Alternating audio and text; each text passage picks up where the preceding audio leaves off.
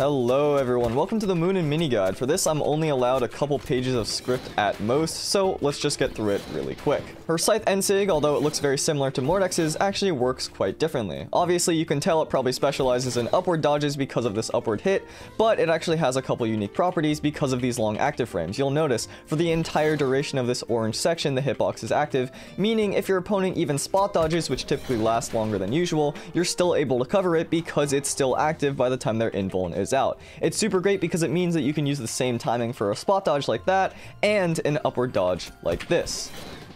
It also covers the upward diagonals with a couple different movement options. If you dash forward or chase dodge, you're able to cover an upward out. And if you hit from the far long range of it, you can just stand still and do it that way. Your spacing does have to be quite accurate for that because if you hit a super close sidelight, it's just going to straight up miss. Along a similar vein, you may find yourself overshooting this move a lot with dodges like that because you do have to hit it with this very edge of the sidelight. Maybe right here will hit. Yeah, not even that was good enough. You got to do it very, very accurately so that the edge hitbox and the active frames can pick up at the very, very end end. It's quite accurate and you have to hit with this downward portion of it, but if you do hit that very specific sidelight, you can cover a bunch of dodges at once. This is quite different from a lot of Scythe characters because for them, you want to hit the sidelight super close to get these Nsigs, but for Munin, you kind of want to hit it pretty far. Soft sidelight into Nsig like this is probably one of the most obvious signature strings that Munin has to offer, so let's talk about that for a little bit. This string is completely inescapable if you try to jump because of this vertical hitbox. Jump up, you're still going to be hit by it. Jump to the right, you're still going to be hit by it. And jump to the left, you're still going to be hit by it. Now, what makes this different from Mordex's is that although it's unjumpable, it is still fast fallable. So if I set this bot to stun, we can see exactly when the bot is active. I'm going to sidelight, instantly Nsig, pause the game, control the bot now, initiate a fast fall, and we'll see that I can escape it. Not necessarily the easiest input to time, but still very doable. So that means if you catch someone's dodge and you want to sidelight into Nsig them to KO, it's not necessarily guaranteed. You have to hit the sidelight in a very specific way, maybe up high, so that they can't fast fast fall it, or your opponent has to miss the fast fall input, which to be fair is not the easiest thing to hit, but they still can do it. Overall, you can cover a bunch of dodges with this move. It's really prime real estate for Scythe because you're hitting people into the air and then you can cover the same area. Be careful though, this move is quite finicky. You might find yourself overshooting or undershooting a lot because of the momentum properties. If you are looking to pick up Munin, then I definitely recommend spending some time trying to learn the ins and outs of this move because you don't want to find yourself in a situation where you have the dodge read, your opponent is dead to rights, and then you completely overshoot it because you're not necessarily too familiar with the properties of the Nsig. Otherwise, its other properties are pretty good. I mean, you can jump before uh, landing on the ground there, which means that you're out of recovery time pretty early. It's a great move. I mean, the amount of active frames makes it pretty unique in covering dodges. You just got to be a little bit careful because the movement properties can sometimes be a little bit weird. Okay, I went to go eat dinner, but I'm now back to talk about side sig, and I know one of you is going to ask. It, it was chicken. I had chicken. Sidesig has a deceptive amount of active frames. It starts earlier than you think it does and ends earlier than you think it does. You'll notice she does this little flip and then sends out this musical blast, but the hitbox actually starts after this first rotation here before she even sends out anything. Then once she sends out the blast, it's going to be the orange wave, and then the moment the orange is gone, the hitbox is also gone as well. As long as it's purple or this pink here, it's not active, and that's true for all of Munin's signatures. A very interesting property with this signature is that if you GC it, you actually fall down quite a bit. This is a very common option that people like to use on a variety of legends. You can GC it, hit someone on the ground, and also extend your hitbox upwards, because let's say someone's jumping around, if you GC it, you can still hit them in the air like that. Now what's unique about this move is that you can actually GC it from higher than you normally would, because you're gonna fall down and still hit them anyway. Despite quickly moving you forward, this move doesn't seem to have any additional bonus with momentum like chase dodging or dashing. You'll notice if I use the side sig right here, I end up right about this spot, and if I start it from the same position but with a dash, I end up pretty much in the same exact spot. It's not like moves like Katar Sidelight, for example, that give you an extra boost on top of it. A lot of this is because you're halted by the end of the signature no matter how much momentum you have going in. You could have the max amount of speed dashing across platforms, but you're still going to be stuck in place by the time you strum that final note. What this means is that although it's decent for things like GC recovering, it doesn't actually go as far as you might think it would because the body doesn't extend as far as the hitbox does. On the topic of the hitbox, it's actually quite generous. In mid HP values, you can catch people dodging in with things like that. Despite looking like you may overshoot because you're moving forward, that initial spin hitbox is enough to still catch your opponents because you'll notice it's going to catch them as you're moving into their zone. As for that final extension, it reaches about one and a half character widths in front of you, which is pretty good considering how far you're moving forward throughout the move. While it deals over half the damage of this move on its own, ideally if you're trying to build up damage you don't want to hit with only that final blast, you'll notice that's about 18, and if you hit with the rest of it, it's about 24. Given that this move has a good amount of horizontal distance, if you use it closer to the lip of the stage, you can KO way earlier than you would have otherwise. The move has a good amount of force, it's, it's not the most in the game, but considering Munin's average strength stat, it's quite decent, all things considered. Overall, this is a move that will probably see a lot of use in finishing strings, knocking people off stage, reading dodges, stuff like that. Be careful though, because you may not go as far as you expect to, like I mentioned earlier, because of that halt of momentum. The good thing is that you probably won't find yourself overshooting this signature too much because of that generous hitbox like I mentioned earlier. I think this signature will probably see a lot of use and it's well warranted. Not only is it quite cool, it's quite good. Moving on to the Scythe down sig, now the first thing you may notice about this move is that it has a good amount of startup. From the time that I press this button, it does take quite a while for the full hitbox to come out. Unlike a move like Ragnir Katar down sig, which covers a similar area, a lot of this startup is in a big animation, this backwards flip, so people may have a little bit more time to react to it once they get used to the animations. A huge benefit of this signature is in its active frames. You'll notice if you use it on stage, not only do you get this initial arrow that gets sent out from your hand, but it gets this ground splash and then an additional ground bounce after that to extend the range. Like I mentioned earlier, as long as it's orange, it's active, and as long as it's purple, it's not. And what this means is because of this active orange bouncing hitbox, it's not useless on stage. A lot of these spiking signatures, a lot of their power kind of diminishes the moment you use it on stage, but you'll notice right there, it's still super good because of that extension. It's also not the easiest move to punish because you're out of recovery frames before you hit the ground. You'll notice if I use this, I can jump out safely. I can attack out safely. I can maybe even dodge out safely. It's most obvious use is to guard the lip of the stage. You can use the aerial version to spike people downward, send them to their doom, even GC it like that to send them that way. Because it has this different version, it just adds on more to Scythe's ability to ledge trap. A couple quirks about this move, because you backflip quite a bit, you'll actually have to be much closer to the lip than you may think you would. You have to be around here to get the offstage version, because otherwise, even if you're right here, it's still going to be grounded. Now, while that makes it more risky than a lot of moves that cover a similar area, what you can actually do is slide charge it a little bit and get that bounce to come back on stage. Along the same vein, you can use that to refresh your jumps off the wall, like that. Okay, hold on. I'm, I'm all over the place right now. I have an idea. Oh my god, I touched the wall. It was insane. It was an insane idea. Part of what makes this technique effective is the long active frames we discussed earlier. You'll notice if I hit this opponent off stage and I use the slide charge version, I'm still able to hit them even if I'm not hitting them with the spike version directly because of this initial arrow like that.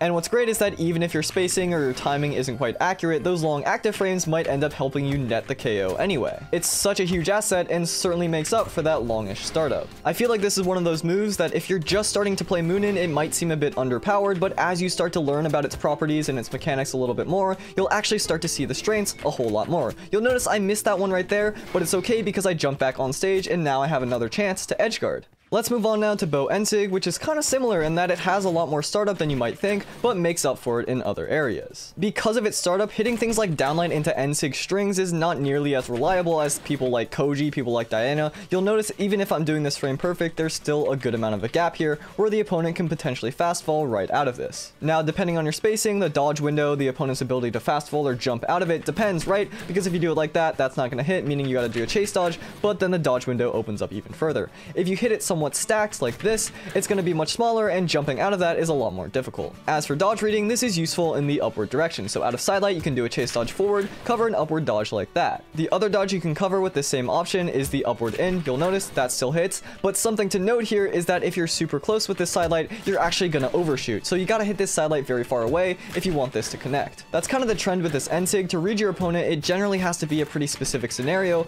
and you also have to commit quite early because of that startup. That makes it much more a matter of having a straight up read than just trying to cover like six options at once using just one signature in one scenario. Essentially what that means is that a lot of follow-ups with this Nsig is higher commitment than it might be with other characters. Those downsides are counterbalanced though by having a metric ton of force. For a base 5 strength character, the amount of force this move has is pretty darn high.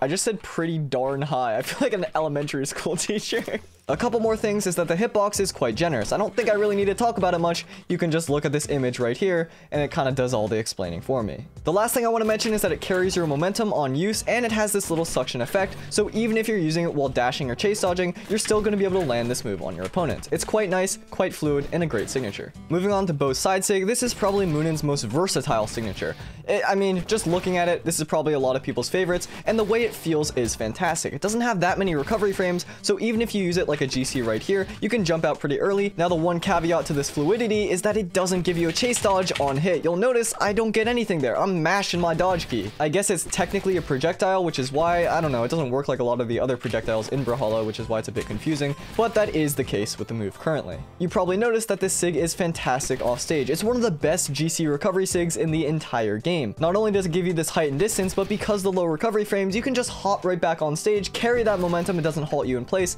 like that. Not to mention, of course, that you're doing it while sending out active spiking hitboxes of your own. If someone's trying to recover back to the stage, you can track their movement, maybe they dodge in with those active hitboxes of your own. It's super good for that because as they're moving, their invuln's going to be over, and then you still have something out to hit them while making it back yourself. Now, to add on top of all of that, you cannot overshoot this move while GCing it because it has its own wall version like that. You'll notice, once the first shot hits, the rest of it will follow, which means you can do something really fancy like that, where as you're jumping back onto the stage, you still have an active hitbox that, mind you, is gonna send at that horizontal angle off stage as you're jumping back. Meaning, I don't know if I'll be able to do it, but if I can get this Bodvar off stage like that, yep, as I'm jumping back on stage safely, he's getting edge guarded and getting knocked off stage. If you want to do some really cheeky ledge trapping, you can do something like this, where you leap off stage, then jump back as you're slide charging and send out these active hitboxes. If you do it correctly, sometimes you can get each of them at a different height like that, yep, you'll notice all of this is still active frames. These explosions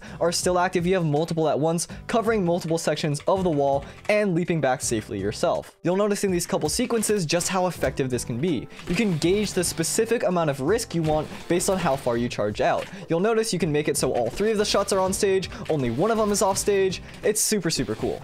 And right there, you'll notice that one sent them straight down. Sometimes that happens. It's kind of like Diana's Where if it hits on the wall in a specific way, it sends at this very brutal angle downward, where there's really nothing the opponent can do. They get hit with the full force of the move and get spiked to their death. This is one of the most versatile, unique spiking signatures in the entire game. You can edge guard, you can edge trap, you can use it on stage because it's still going to have a good amount of force, cover the lip of the stage, GC to recovery. I mean, it's really got it all. This is a 10 out of 10 signature, and honestly, I'm glad because it just looks so cool. Now, I got so excited talking about it that I didn't even mention its properties. It has three different shots. You'll notice this is not active because it's purple, because it's pink, and then it's orange. It gets sent down. I I've been using it throughout. It hits as you're sending downward, and then it also has a splash hitbox that hits as well. I don't think I can sing the praises of this move enough. It, like I said, it's a 10 out of 10 signature, and if you're looking to pick up Munin, this is certainly a SIG to master.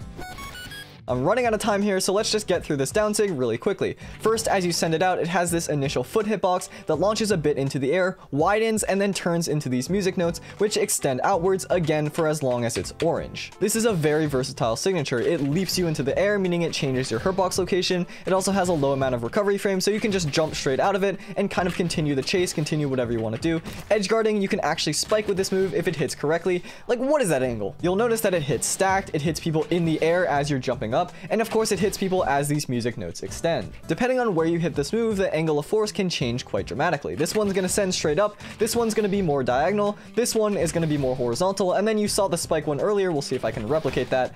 That one is quite brutal. Because this hits on both sides of Munin and it has the long active frames, this is one of the best dodge punishing tools that Bow has to offer. Just by doing a sidelight into a dash or chase dodge forward down sig, you can cover a bunch of different dodges. An inward dodge like that, a downward dodge like this, a diagonal inward dodge like this. Now, if the bot does it frame perfect, it'll turn into a dash, but it still covers that one regardless. And the most impressive one to me, the spot dodge with the same exact timing. Most of the time in scenarios like these where multiple dodges are covered with the same option, you have to change up the timing if you want to hit the spot dodge because it has longer active frames or longer invuln frames than all of the other dodges. But with this down sig, as long as you hit the side light close, it's still going to hit and you don't have to change up the timing whatsoever. The biggest downside of this move is that it completely halts your momentum on use, which can make it feel sticky at times and also means that you can't circumvent some of the startup, like with this Nsig for example. Let's say I'm trying to get to Bodvar's position. If Bodvar's just jumping around, I can kind of dash forward and use my movement forward to circumvent some of the startup. To contrast, if I want to do the same thing with Downsig, I can't start it from right here because it's just not going to hit. I have to start it from much closer. Essentially what that means is that it's significantly less fluid and a higher risk option than it would have been otherwise. Despite that though, this is still an extremely good signature. I think I said in the everything about Munin in the 6 minutes or less before we can even get our hands on her, I said this is probably going to be the sleeper pick and I think that's still going to be the case.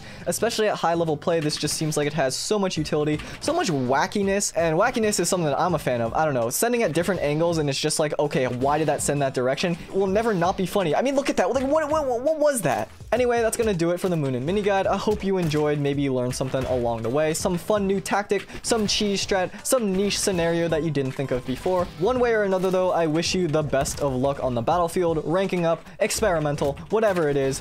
Good luck soldiers. You got this.